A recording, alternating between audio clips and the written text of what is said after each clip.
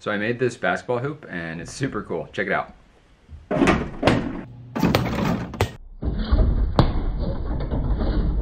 If you miss with this backboard, then you really suck. So a few weeks ago, I built this backboard that would direct tons of shots into the hoop.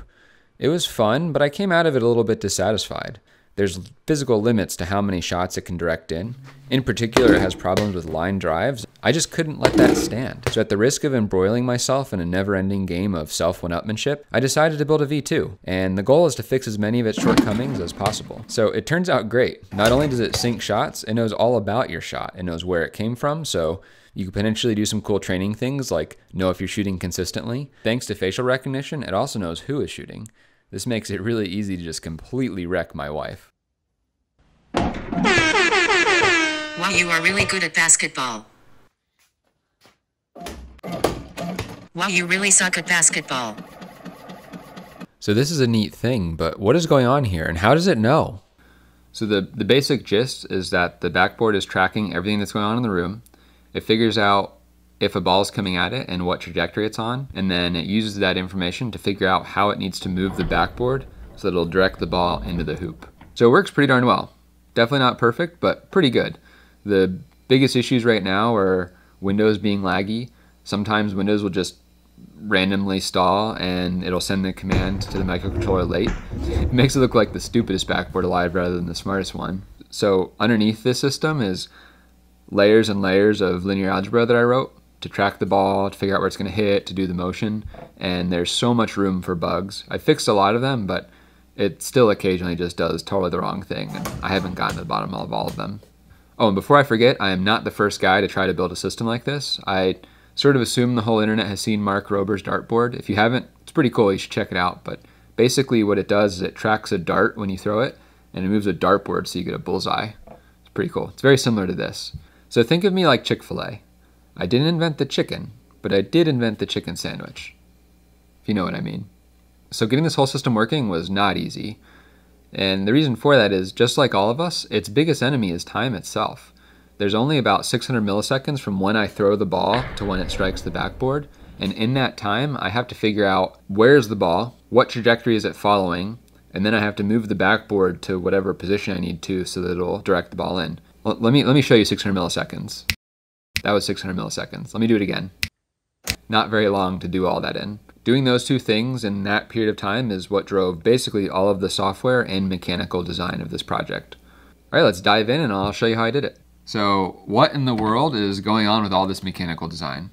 So this, this backboard is optimized for doing two things. The first is moving the backboard to a, as wide of a range of positions as possible, and then doing it as absolutely quickly as it can. So there's three big motors in it, and each one controls an arm. And you might be wondering, why is there only three motors, not four? And it's really just because I only need three. You, you may remember from geometry class that it only takes three points in space to define a plane.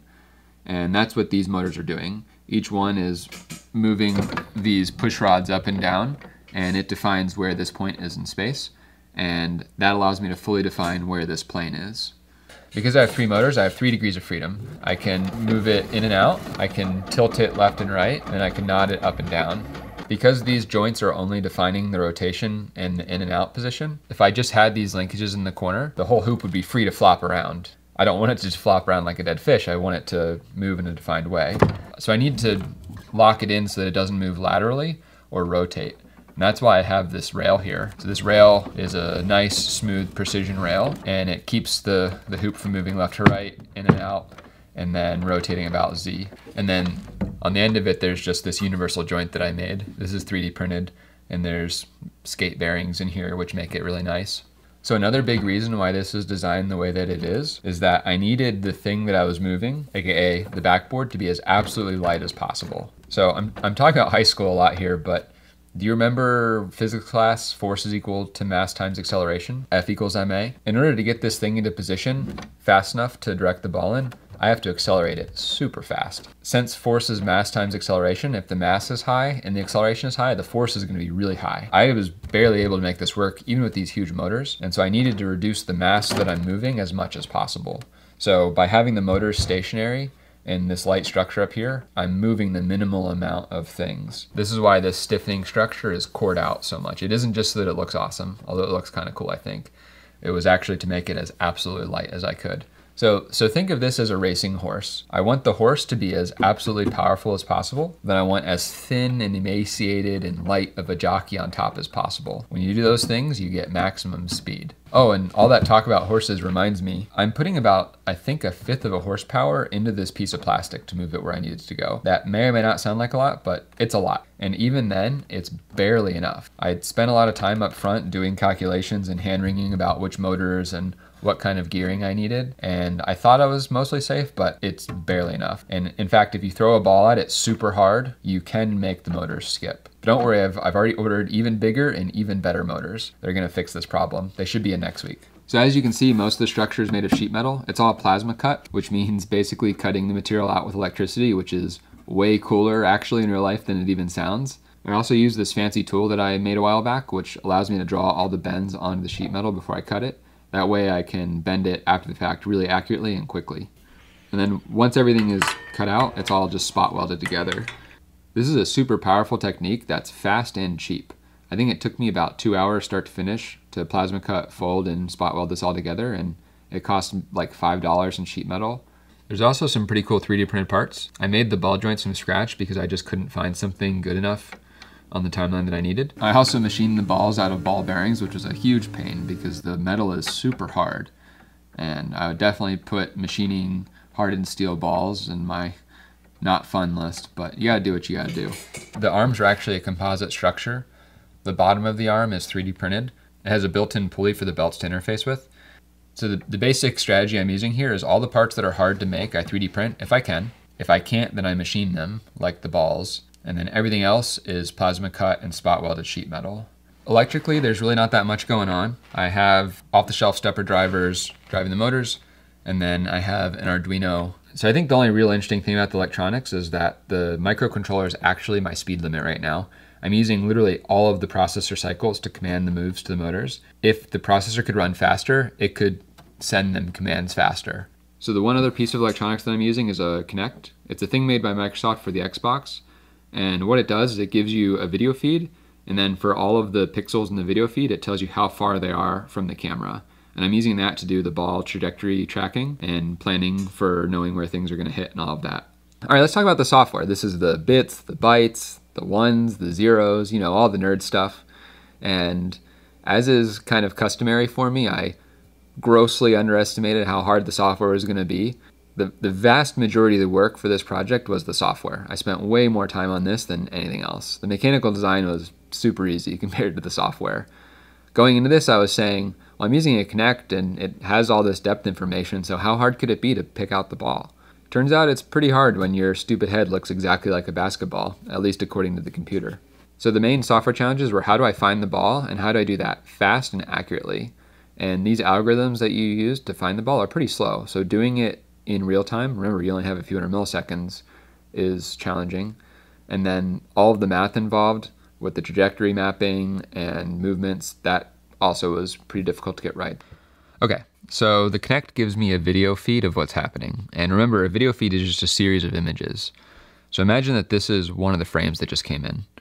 And in this frame, there's some crap on the ground, me, and the ball. I don't know what's wrong with me. Thanks to computer vision, I identify these three things as potential balls. You might be wondering why this pile of crap might be identified as a ball. It just comes down to the statistics that are done for computer vision. It's more of an art than a science, and th- there's sometimes noise in the image. The ball isn't a perfect thing, it's sometimes blobby looking too.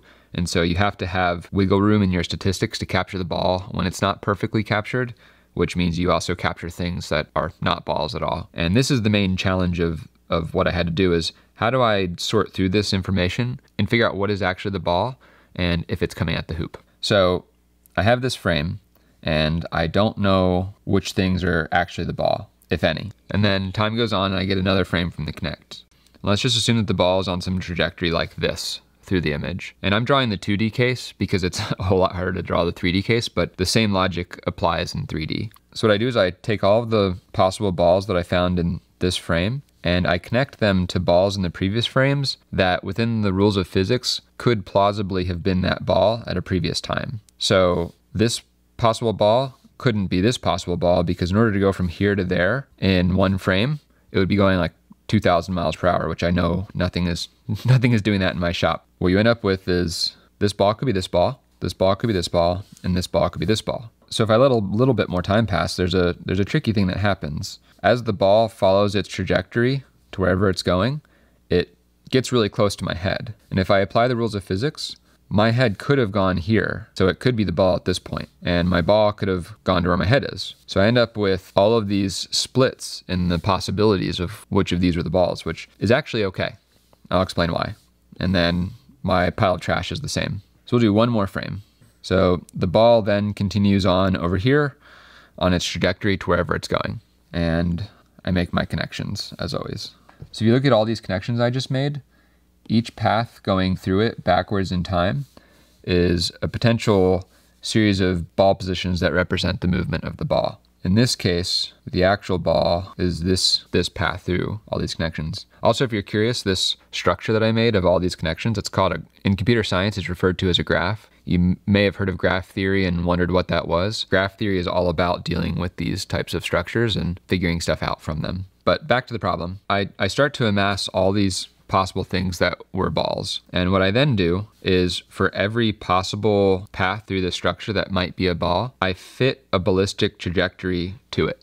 So if we look at this wrong path here where it's the ball, which moves over a little bit, which jumps over to my head, which jumps back to the ball. If I fit a ballistic trajectory to this, it's not going to fit very well. This isn't a, this isn't a ballistic trajectory. If I take that path and plot it, it might look something like this. This isn't a very good ballistic trajectory. And then say I plot my head's trajectory across time, it might look something like this because it's not moving. That's not a very good ballistic trajectory. And then the actual ball trajectory will look like this. I can figure out which one is actually the ball because a ballistic trajectory fits it well. This is how I filter out the ball from all the things that aren't the ball. My head is never going to be following a ballistic trajectory. I hope not, at least, right? This works really, really well. Okay, I've done what I was doing before and I've found a ballistic trajectory that I think is the ball. The next step, I project out to where I think it's going based on this ballistic trajectory and where on the hoop it would hit. I also know how much time there is between where I am now and when it's going to strike the hoop. And the more data I can collect, the better my estimate is. If I only have a few points, there's a range of trajectories that it might follow. And as I collect more and more points, the possibilities of where it could go narrows down significantly. So what I want to do is wait until the absolute last possible minute to tell the hoop to move to whatever position it needs to do to make the ball go in. And I know how long it takes to move. So what I do is I just collect data until the absolute last millisecond. And then I say hoop move and then it goes and moves to wherever it needs to move. The one final piece of the puzzle is how do I calculate what angle I should move the backboard to so that it will go in? So the thing that makes this kind of hard is that I have a robot that can move the backboard in and out and to all these different angles. And it turns out that there's infinitely many solutions that will cause the ball to go in. So let's look at our side view again. So as the ball comes in on this trajectory, remember I can move the hoop in and out. So if I move the hoop out to meet the ball earlier, I might need to direct it like this to bounce the ball down, which is different than if I move the hoop backwards. I might need to angle it like this so that I bounce the ball up and into the hoop. So there's this continuum of possible poses that the backboard could be in. One other funny thing is that there's there's also usually a couple of solutions. So say I moved the hoop out like this to get to the ball earlier, I can direct the ball down like I already drew, or I can direct the ball up and it'll fly up and then come back down into the hoop, which is pretty funny. The reason that there's two possible trajectories is that ballistic trajectories are quadratic equations. So you might remember back in high school having to solve quadratic equations and hating your life because this is stupid. The reason there's two trajectories is due to this plus and minus. When you solve a quadratic equation, there's often two solutions. Basically, when you solve the ballistic trajectories, there's a plus and a minus, and that represents the two different trajectories that it can take. Okay, here's what I do, is I look at this incoming trajectory, and I solve for the angles that I would need the backboard to be at if I move it to those positions so that the ball will go in. I do it at one millimeter increments and I end up with a really big set of these. And some of these I can't do. Like this one I probably can't do because I don't have enough range of motion with my robot. Maybe I can do this one, but it's less optimal because I have to move further, which takes more time. So I, I rank these according to can I do it and how long does it take to do it, and then I choose the best possible one. So remember, my backboard is attached to those three points that can control where it goes. I do a thing called inverse kinematics, which is sounds way fancier than it actually is. It basically means figuring out how I need to move these individual actuators so the whole thing goes to where I want it to go. Oh, by the way, if you want to sound really cool, you call it IK. Yeah, I just threw a little bit of IK at the problem. No big deal. You know, it's nothing. So in this case, this one has to move forward this much, this one has to move forward that much. Once I have that, and I have just enough time to make that move, I yell out to the backboard, move here, and then it moves there really fast, and then hopefully sinks the shot. And that's really all there is to it. All that's left now to is, uh, uh, just give me a second here to make it rain.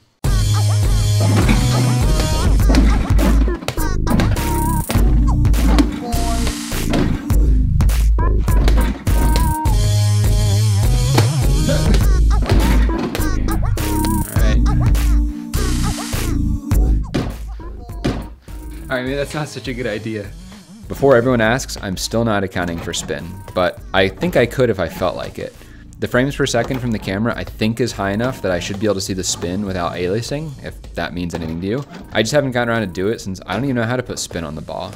Though like I said, I could, and for now, that's enough for me. If you like what you see, you should subscribe. I build stuff all the time, and a lot of things are pretty cool. If you have something you think I should build, let me know in the comments. Maybe I will. I love good ideas. If you want more depth on this, also let me know.